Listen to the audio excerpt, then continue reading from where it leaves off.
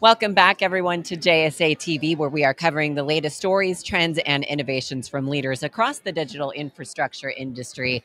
Joining us now, live from the show floor of Yotta 2024, we've got Jeff Barber with Bloom Energy. Thank you so much for being here. Thank you for having me. Like I said, this is always the best part of any show. Look forward to the JSA interviews, insightful questions. We look So forward good. to having you every time as well. Before you. we dive into it, you do you have had a lot going on, but I want to first just uh, for those who might not be familiar with Bloom and what you do, Sure. can you just give us a quick background on how you help your customers? Yeah, absolutely. So Bloom at its core is on-site microgrid power, so electrons for the data center or other any other storage facility. We are at our core a hydrogen fuel cell. We extract that hydrogen from natural gas, or if you have what I call the unicorn flying over the rainbow, which is quantities of green hydrogen at your site, you, you can feed us that and we'll give you electrons. So Bloom steps in when you need to supplement or completely replace the utility. And right now we have just a couple of power issues in our industry. I don't know if anybody's heard. Um, power's kind of tough to get, and if you can get it, it's sometimes a decade out. So that Yeah. doesn't work for data center. We need to have an on-site solution, and that's what Bloom does for many, many years now. We're well over a decade old.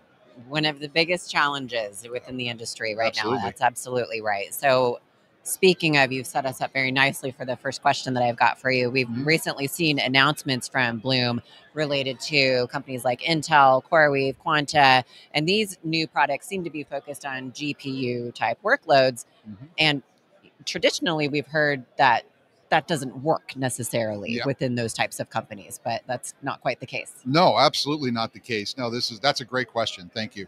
Um, Bloom is absolutely perfect for what we call oscillating workloads, which tend to be machine learning AI focused workloads. GPUs go up and down many times, 50 times in just a several seconds.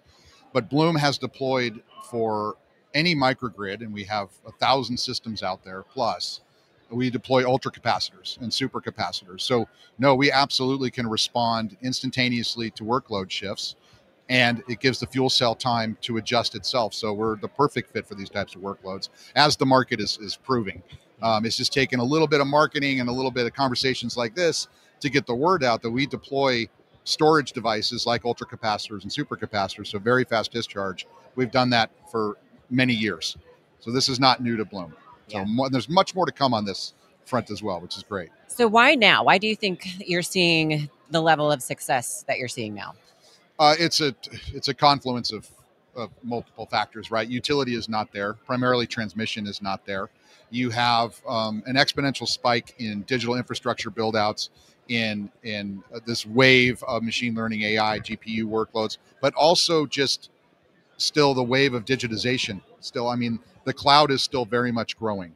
Yeah. We're still digitizing. We're still creating, you know, terabytes per day per person on our phones with videos and pictures and all of that. So everything's coming together right now, and utility's not there necessarily, not in, in, in many cases anyway. So yeah, the market has to look to on-site power generation solutions. Well, and we, yeah, we absolutely need the power. So we definitely need companies like yours bringing these solutions to the table. It's an important part of the process. Yeah, it's not going to happen without it. So another common misconception about on-site generation is the physical space that it consumes. Can you talk about that a little? Yeah, absolutely. You know, I I joined Bloom almost two years ago now, which is crazy. Um, I would say the number one objection was not pricing, was not performance, certainly not reliability.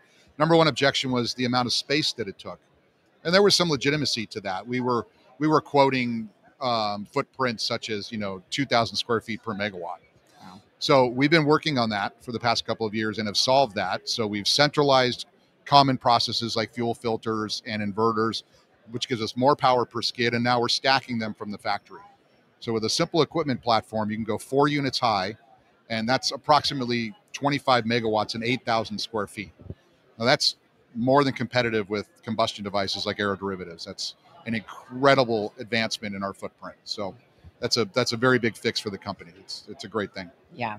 Well, congratulations on the Thank great you. work you're doing. Thank you. Keep it up. We're definitely looking forward to hearing more. We're getting there. We But are.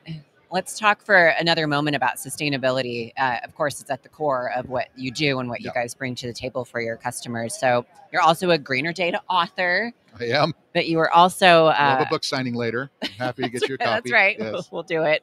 Um, but you were also a recent speaker at the New York City Climate Week. Yes. Um, so can you just talk to us generally about your dedication for Mm-hmm. sustainability and just what it means to you and to our industry. Absolutely. First of all, that was an incredible experience. The the um, the format of the show and the questions that were asked were very hard hitting. Like you know, no no fluffy questions, uh, which was good. A lot of a lot of developers there, uh, a lot of folks like Bloom there.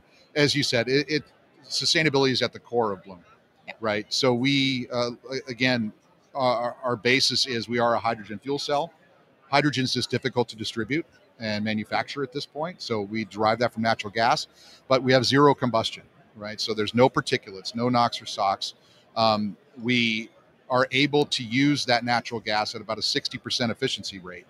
So that means 60% of those molecules are converting to electrons. That all equates to a much, much greener story than uh, certainly than combustion. And most utilities, at least in the US, are still burning. Um, so yeah, zero combustion with Bloom. So yeah. It's a very good story. Yeah. It's going to take these new solutions and new ideas to get us where we need to be. Absolutely. Yeah, absolutely. All right. Well, Jeff, thank you so much. Is there anything else that you're excited about here at the show or or just in general? Incredible show. Congratulations, Yotta. This is the inaugural show, I believe, yeah. right? But yeah. the the level of attendee and the level of meetings that we're having are, is absolutely fantastic. The, the the venue's a little large. It's about two mile a two mile walk from my room, but that's all right. We've we'll all clocked there. ten miles for the day already. we'll, we'll yeah. get there. Good deal. Well, thank you, Jeff, so much for stopping by. We look forward to having you back on JSA TV again very, very soon. Yeah, thank you very much. All right. And thank to you. our viewers, thank you again for tuning in. Don't go anywhere. Plenty more to come here from day one of Yotta 2024. In the meantime, stay curious and stay connected, everyone.